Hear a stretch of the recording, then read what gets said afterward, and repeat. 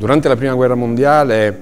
eh, la scuola militare, oggi Accademia Militare eh, di Modena, eh, si meritò la fama di fabbrica degli ufficiali perché in ben 12 corsi accelerati dal 15 al 18, il tredicesimo in effetti non raggiunse il fronte perché terminò la guerra, i 12 corsi accelerati sfornarono, prepararono alle armi ben eh, 26.741 ufficiali che raggiunsero il fronte e molti di essi caddero con i loro soldati.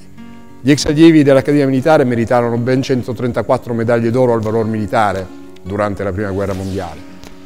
Uno, una di queste medaglie d'oro fu il maggiore Francesco Baracca, ex allievo dell'Accademia nel 1907-1909, che qui vediamo sul suo aereo.